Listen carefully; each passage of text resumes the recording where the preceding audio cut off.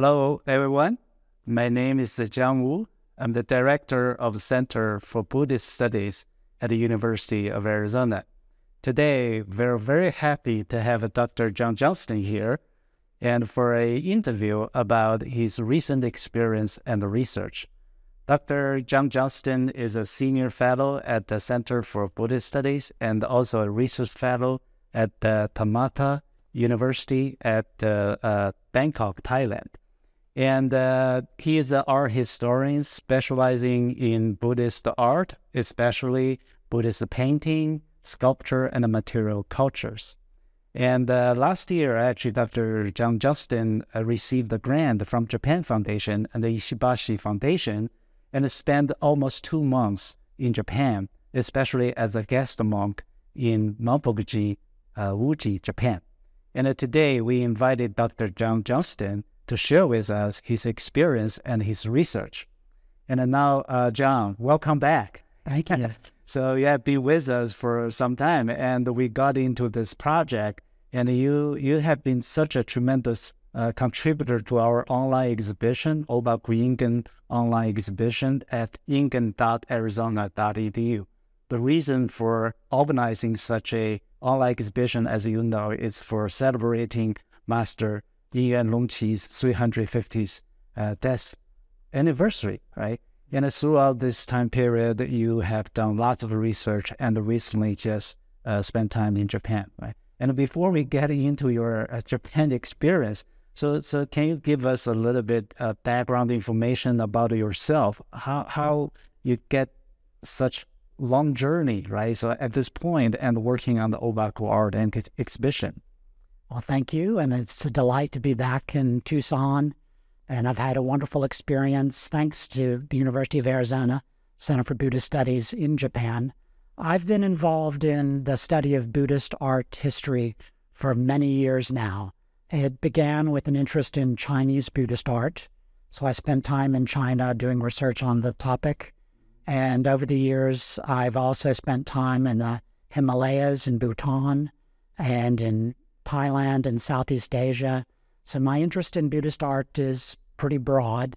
I'm particularly interested in how Buddhist art is used in Buddhist practice. And in addition to my interest in Buddhist art, I'm also a specialist in ceramics and other areas of Asian art.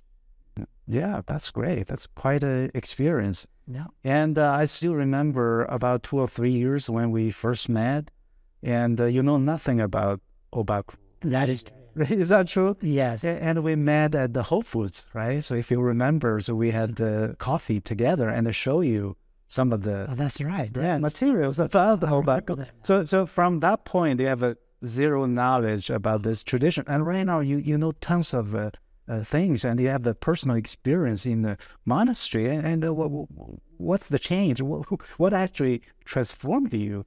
Well, having a knowledge of Chinese history and Chinese Buddhist art helps with connecting with the Obaku tradition.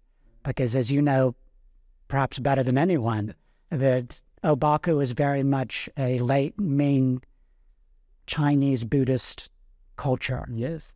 And so many of the practices, even to this day at Mount Manpukuji, reflect the Chinese heritage of Obaku. So I will admit I knew nothing about Obaku. And I think Obaku tends to be a fairly obscure topic in Buddhist studies in general. But being able to bring Chinese studies and an understanding of Chinese history and art history really helped me connect with the Obaku tradition. So, you know, Obaku is these days a living tradition. So I was very interested in going to Japan to see what's going on with Obaku today not so much with what was going on with Obaku during the formative period in the 17th century. So that uh, was one of the motivations for taking this interest to Japan. Yeah, yeah, yeah. So then, then let's talk about your your monastic experience, right? So you you were a uh, guest monk, right? You really you were accepted into the monastic community, right? Doing uh, uh, uh, rituals and, and, also the daily liturgical kind of a morning and evening sessions, right? So this is why why not you, you talk about your experience? How, how, how you know it's very unique, right? So not, not every ordinary person can can be admitted into this community, and you are so fortunate, right, to have a first-hand experience. So so let, let's talk about that. Well, yes, it was a great privilege and really an honor to be able to serve as a guest monk at Manpukuji. I was not a real monk, and occasionally the monks at Manpukuji would remind me not a real monk. I didn't uh, ordain and I didn't take vows, but I did try to conform to monastic life as best I could. And they did, um, they were very generous in allowing me to stay overnight in the monastic, in the monks' quarters.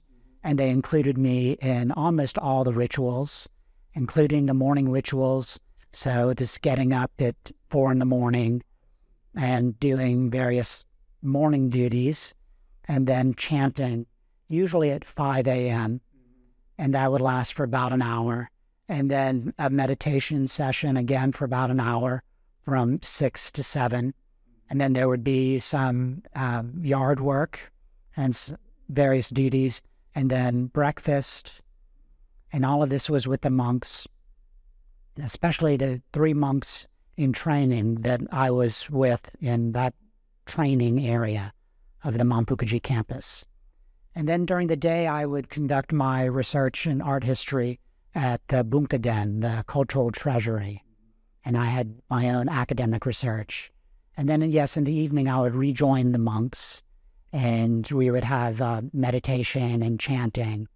So, yeah, it was really important for me to be able to go behind the scenes and see what Obaku culture is like from a more monastic perspective. Yeah. So it's a full schedule, full time job. yes, and it's one thing that I took from my experience is that it's a very demanding lifestyle. The monks work hard, particularly the monks who are in training. So the monks who I was with, there were three monks in the program, and they stay at Manpukuji for, for one to three years until they complete their ordination and then they're qualified to become an abbot of any Obaku temple in Japan. So the director of education, an, another monk, he decides when you're ready, when your program is finished. So that's why it's one to three years. But it, I mean, I got off easy because I was a researcher and I was a foreigner, so I didn't have to do all of the rigorous work. But I watched these monks really put in, as you say, full days and long days, and they were really dedicated to their training. So here we're talking about ritual, right, and meditation, labor, research. Uh, so, but Obaku also uh, is one of the Zen tradition right? So, so where is the Zen part? So, according to your understanding, I think the Zen part is throughout the experience. I think Zen is interwoven with Obaku, and sometimes, especially critics critics of the Obaku school, tend to say, well, maybe it's not really Zen because they do this chanting and they have this uh, reverence for Amitabha and Guanyin and perhaps it's not pure Zen, but that was not my experience. I think the emphasis is on meditation and uh, quiet reflection, introspection. So, as meditation is sort of the core practice, that's very Zen. And the chanting itself is not as devotional as I would have expected. It's not like Jodo Shinshu or some of the Pure Land schools that I associate chanting with. I think the chanting goes hand in hand with the meditation practice.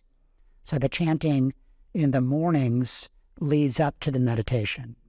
And then in the evenings, there's meditation first and then the chanting to conclude the day.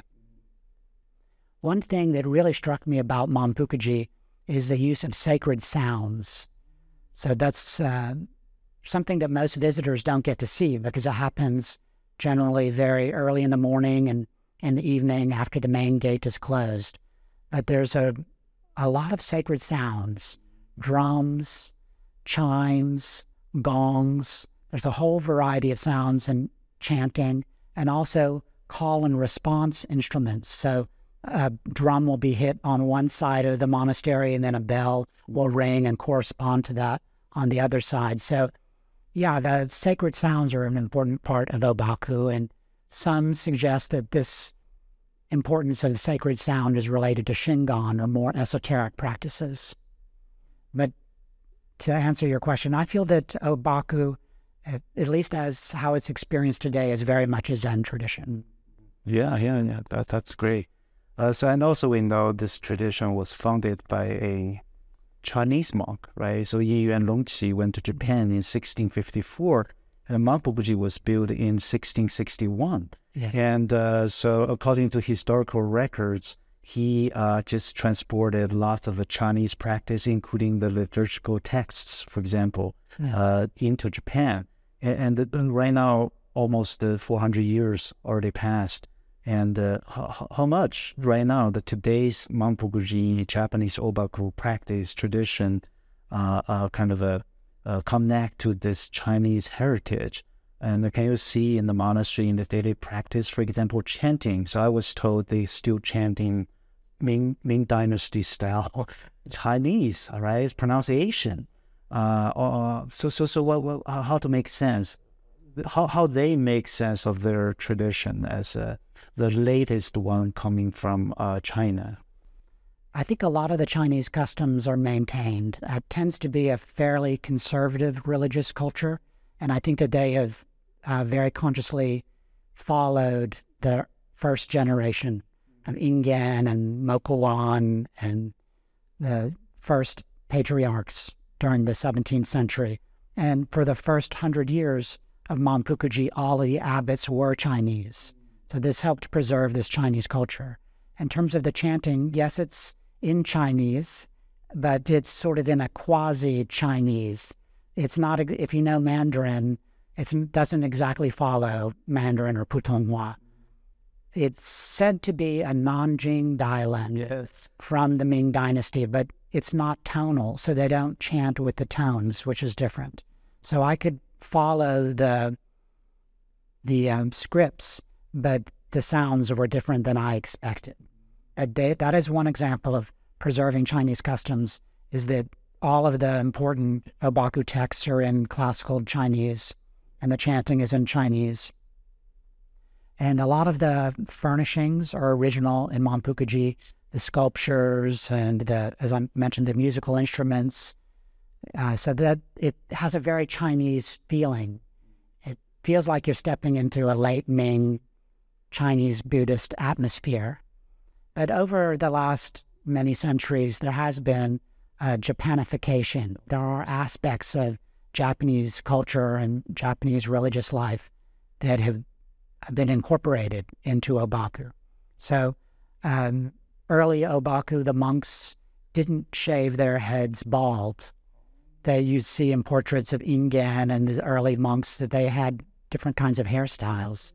And now the monks shave their heads completely bald, as an example. Another is that um, the Chinese monks wore shoes. And now the Obaku monks all wear sandals which is a more Japanese custom. So there are Japanese aspects.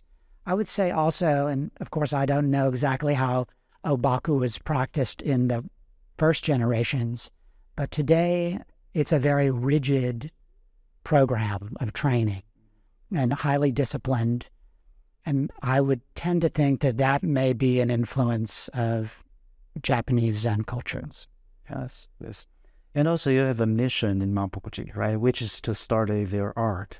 Yes. So and and there there are different kinds of calligraphies and also you're interested in sculpture, for example, right? That's right. So so any amazing sculptures, uh, something strikes us as really valuable in your research? Well, there's, there's so much wonderful art associated with the Obaku school in general, and in Manpukuji specifically.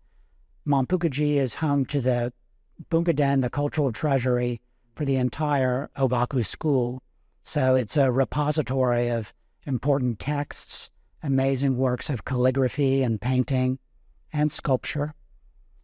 But it's unlikely when you visit Manpukuji that you'll see painting and calligraphy outside of their small museum that's near the Bunkaden.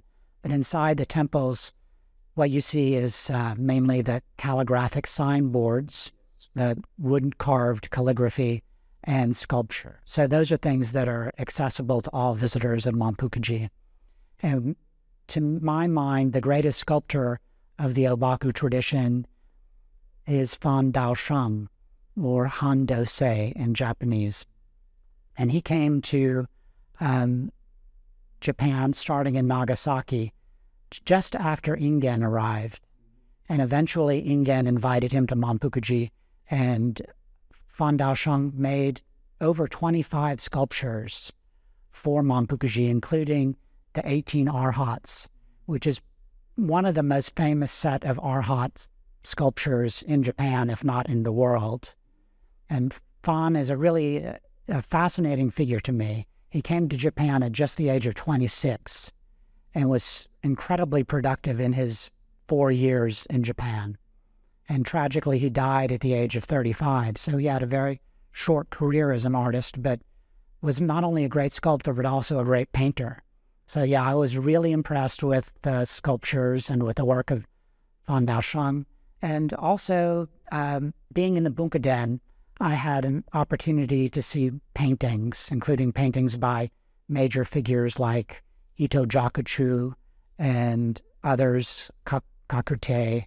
And the quality of painting also really was amazing to me. It does amaze me. So the visual culture, the material culture, the art history of the Obaku School is really one of its most outstanding contributions. Yeah. And this afternoon, you're going to give us a lecture, right? So this is going to be part of your lecture? Yes. So today I will give a lecture about Manpukuji and take the audience through the main temples and show them the sculptures and why the sculptures are important, how they reflect Ming Dynasty style. Yeah, that's great. Yeah. And also, this is related to our uh, online art exhibition. So we have been working on this project so hard, and right now you come from come back from Japan, and I know there's going to be a major update, right? Yes. So can you tell us, tell our audience what what exactly those uh, updates? Oh, sure. We're very excited about the updates to the True Image online exhibition celebrating the life of Ingen and the contributions of the Obaku School. We started with about 30 works from major Western museums, like the Metropolitan Museum of Art and the Cleveland Museum of Art. So many museums that have just outstanding Asian art collections. So to begin that project, we looked, we our theme was to focus on Obaku works in Western collections. So we went methodically through all the great museums looking for Obaku pieces. And we have an extraordinary exhibition committee with some of the greatest scholars in this area. So everyone knew of a great painting or a wonderful work of calligraphy or sculpture that they could recommend. So in the genesis of the show, we began to hear about these great works and seek permission to include them into the online exhibition. Now we're updating it with private material from two um, private collections belonging to Dr. Harold Conrad and Dr. Stuart Katz. And these two private collections almost double the selections that we will have online. So we will have about 60 works of art. And they cover many different subjects and uh, modes of expression. So we have calligraphy and figural painting, landscape painting, sculpture, uh, woodblock prints, and they're arranged in thematic rooms. And another main update that we've done is we've added explanatory descriptions to a number of the pieces to help visitors to the exhibition so that they can see a work of art and then they can we provide a few sentences to help them connect more deeply with what's on view. Yeah, this is indeed a, a great achievement. Oh, yes. And uh, Dr. Patricia Graham and Dr. Elizabeth Horton really did a lot of serious scholarship and put in hundreds of hours into making this a remarkable online experience. So I think it's a very important contribution to the study of Obaku urns. Yeah, yeah. It's really uh, reflects the uh, time period, right? So when, when those uh, art objects were created. So, and, and, also in your research in Japan, not only you stayed in Manpukuji, uh, Kyoto for, for quite a long time, you also went to Nagasaki, which is uh, another different place, right? So very, very exotic, very interesting. So, so any revelation coming from that experience? Well, I highly recommend a visit to Nagasaki for anyone interested in the Obaku school. As you know, the earliest decades of what would become the Obaku school began in Nagasaki. So Ingen and his followers and other major figures who came from Fujian province to Japan began their experience in Nagasaki. And there are still several very important Chinese temples in Nagasaki where Ingen stayed and where Fan Daosheng, the sculptor that I mentioned, he also stayed in Nagasaki and made work in Nagasaki. So, yes, I think that going to Nagasaki helps you better understand Manpukuji. And I'm particularly fond of Kofukuji Temple, which is the first Chinese temple. I think it dates to the around 1626.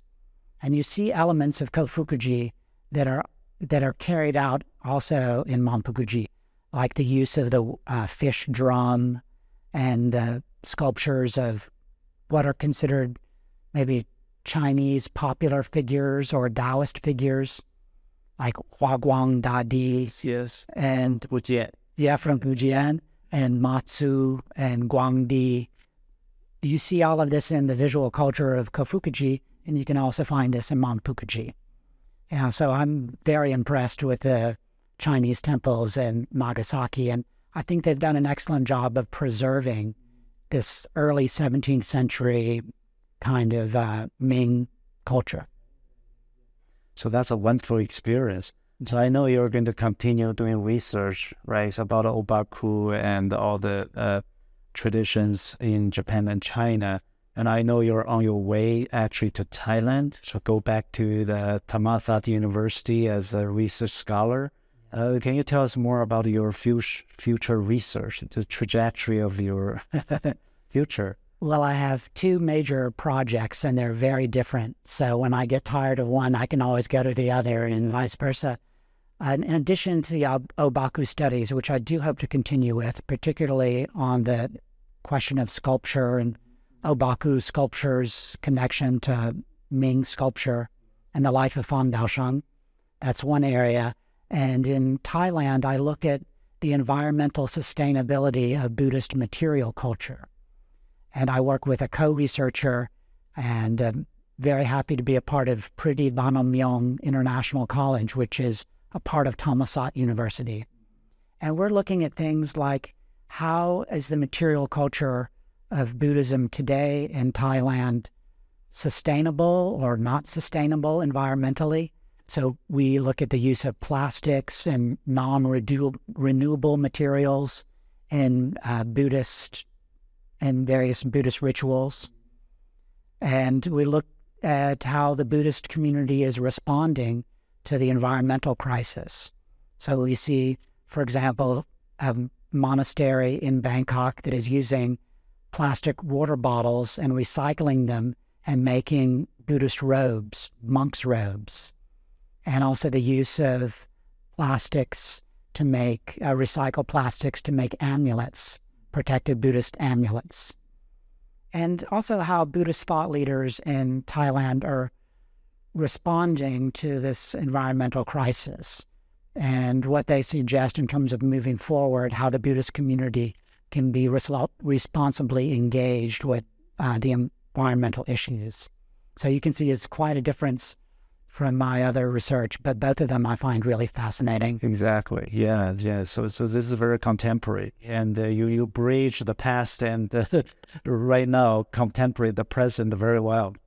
Yeah. Thank you. And I I do see a connection with my work in Manpukuji because I was looking at how obaku is practiced today as a living tradition in contemporary Buddhism, and then in Thailand I'm looking at how the Buddhist community is responding to environmental issues, which is also very contemporary, and how they um, put concepts into practice. Yeah, that's great. Yeah. So now we come to the end of our interview. At, at the end of the interview, I always ask uh, the the question, uh, my question, right? So to the guest. Uh, so I'm I'm writing the book. So I, have been saying this for a long time. Uh, how Buddhism changed the world civilization, right? So think about that. This, this is a very big topic, and people responded uh, differently. Yeah. So I would like to ask every guest I uh, interviewed. So, what do you think, right? So if I ask you uh, how Buddhism, how, how did Buddhism change world civilization, or is changing, or maybe not at all? Uh, so considering Obaku art, for example, right? Uh, so I don't know what what's your response going to be. It's such a big question. It's a hard one to answer. I think Buddhism has had a profound influence in areas like, of course, religious studies and philosophy, East and West around the world. Uh, in Asian art, it's hard to imagine Asian art without Buddhism, particularly Buddhist figural representation that began 600 years after the life of the Buddha. So once you pass the aniconic stage for uh, the last over 2,000 years. Figural sculpture and figural painting has been very important. But I would say the influence of Buddhism in world civilizations also is an individual experience. It's person by person. So that individuals experience Buddhism, they practice Buddhism, it changes the way they see themselves and their connection to their communities and their behavior, their conduct, and their aspirations. So that even though there's been a massive influence in Buddhism over the centuries and millennia all over the world, all of these changes begin with individuals and the power that Buddhism has to change a perspective, person by person. This is very important to bring in the personal dimension Right? So I think I, am going to write this into my book. I'm going to quote you. yes, please put a footnote there. Okay, yes, this is great. Okay, thank you, thank you, Dr. Uh, Zhang Johnston. Um, I also I want to say to our audience, on behalf of our community, on behalf of uh, Center for Buddhist Studies, I want to thank Dr. John Johnston for your contribution to our center's mission to the Obaku Ingen online exhibition. And uh, we wish you well in your future research. Uh, have a great journey to Thailand. Thank yeah. you. Thank you Thank very much. Yeah. Thank you.